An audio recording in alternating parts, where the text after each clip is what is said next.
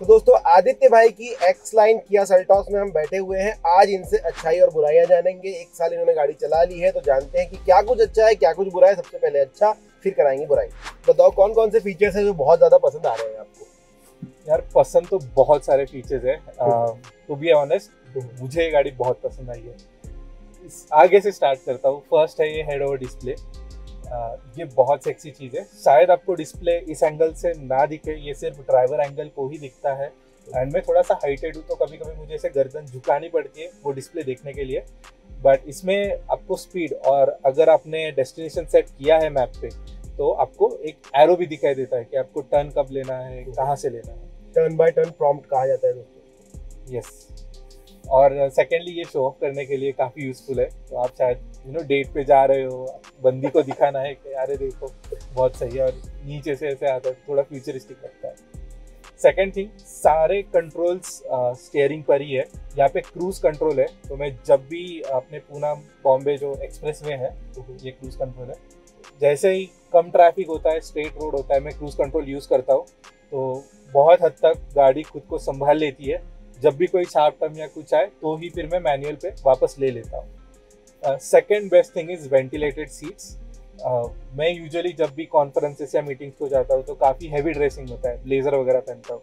तो उस टाइम क्या होता है कि अगर वेंटिलेटेड सीट्स ना हो तो पसीना आता है। लेकिन गिवन दैट इसमें काफ़ी ज़्यादा स्ट्रॉन्ग वेंटिलेटेड सीट्स है तो कंफर्ट लेवल मेंटेन रहता है। नेक्स्ट गुड थिंग इज़ इसके कैमराज तो थ्री मैं काफ़ी मतलब पार्किंग में कभी कभी स्ट्रगल कर लेता हूँ कि यार कितना डिस्टेंस है, कितना क्या है। तो 360 डिग्री कैमरा है सेंसर्स है, जब भी कुछ नज़दीक आ रहा है वो बता देता है तो इससे पार्किंग एक्सपीरियंस तो काफ़ी अच्छा हुआ है। दोस्तों सच में 360 डिग्री कैम सेल्टॉस का बहुत ज़्यादा अच्छा है, मैं आपको दिखा भी सकता हूँ। तो ये देख लो आप, बहुत सारे फीचर्स मतलब यहाँ से आपको सामने का सब कुछ दिख रहा है, यहाँ से आपको ऊपर से कैमरे से सब कुछ दिख रहा है सराउंडिंग्स में क्या क्या है यहाँ से आपको दोनों साइड्स का सब कुछ दिख रहा है और यहाँ से आपको पीछे का दिख रहा है। मतलब आपको इतना अच्छा नहीं दिखा हुआ है बट बहुत ज़्यादा अच्छा थ्री सिक्सटी कैम मिलता है। Yes yes. Uh, अगली अगर हम बात करें तो इसमें वायरलेस चार्जिंग है तो जो भी एप्पल प्रोडक्ट्स अगर आपके पास आईफोन वगैरह हो तो आपको बस रख देना है तो चार्जिंग हो जाता है अपने आप। उसके बाद जो स्पीकर है इसके बोस के आते हैं इनबिल्ट तो वो आपके म्यूज़िक के साथ एडजस्ट करते हैं। अगर आप डायनेमिक म्यूज़िक लगा लो तो जैसे आप स्पीड बढ़ाते हो तो वैसे ही इसके इसके साथ जो लाइट सिस्टम आता है, जो रात को बहुत सेक्सी लगता है, वो भी ज़्यादा स्ट्रांग हो जाता है। एंड ओवरऑल जो डायनामिक बूस्ट आता है म्यूज़िक को, वो भी स्पीड से कोरिलेटेड है। तो वो भी एक काफ़ी अच्छा और सही एक्सपीरियंस है। Next sexy thing about this car is this sunroof तो अगर वापस आप कोई डेट पे जा रहे हो किसी को बाहर खड़ा होना हो या आपके साथ आपके घर पे कोई किड हो जो अभी स्कूल में हो टीनेजर हो जिसको बाहर खड़ा होना हो वो आराम से हो सकता है। रुकी हुई गाड़ी में रुकी हुई गाड़ी में चलती गाड़ी में नहीं। यस यस और अभी के लिए बहुत एक बढ़िया सा रेलेवेंट फीचर मैं बताऊँगा। खास करके अगर आप मुंबई या दिल्ली से ये वीडियो देख रहे हो तो जो बीच में आपको ये हैंडल दिख रहा है ये हैंडल नहीं है। ये एक्चुअली हैंडल के नीचे एक एयर क्वालिटी फ़िल्टर है, जो आपकी हवा को कंटिन्यूसली फ़िल्टर आउट करता है। तो जैसे आप गाड़ी में बैठोगे, आप एसी चालू करोगे, आपको स्क्रीन पे एक एक्यूआय दिखाई देगा। अभी 51 दिख रहा है विच इज़ क्वाइट हेल्दी अभी 53 दिख रहा है which is quite good healthy है। और ये ओवर टाइम बेटर होते जाता है।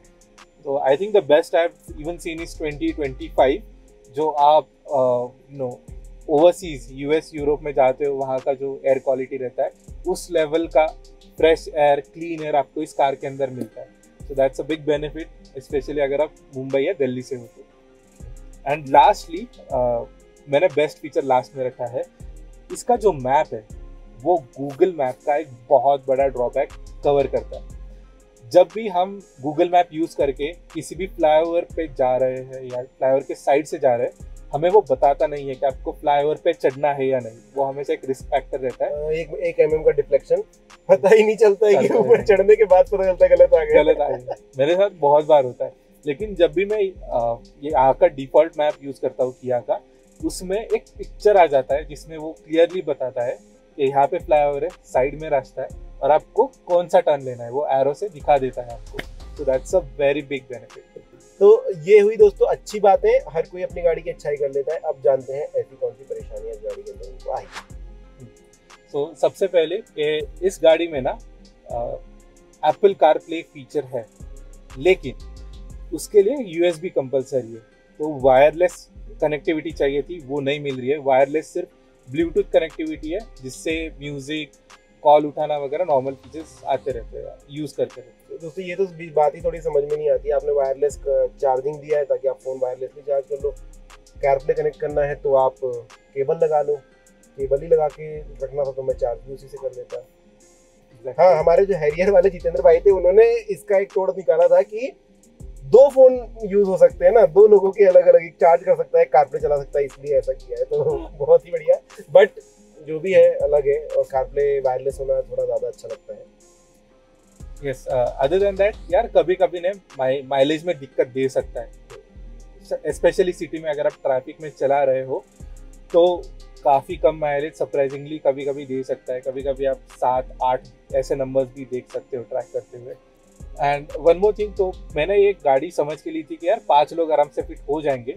But when it comes to comfort and space चार लोग ही आराम से बैठ सकते हैं। अगर पीछे वाले सीट पे आप ती, तीन लोगों को बैठाएँगे तो बीच में एक दस साल या उससे छोटा बच्चा ही बैठ सकता है आई थिंक आप तीन एडल्ट पीछे वाले सीट पे कंफर्टेबली नहीं बिठा सकते। इवन उसमें तीन हेडरेस्ट दिए हुए हैं। बीच वाली सीट के लिए दो ही पॉइंट का सीट बेल्ट है बट तीन हेडरेस्ट दिए हुए हैं आराम से। तो वही है कि फाइव सीटर की पासिंग तो आपकी गाड़ी की है बट बैठना चार लोग और एक आध बच्चा। तो ये है दोस्तों अच्छी और बुरी बातें। अब आपको सेल्टॉस के बारे में क्या अच्छा है बुरा लगता है कमेंट सेक्शन में ज़रूर बताएगा ताकि एडिशन होता रहे। Thank you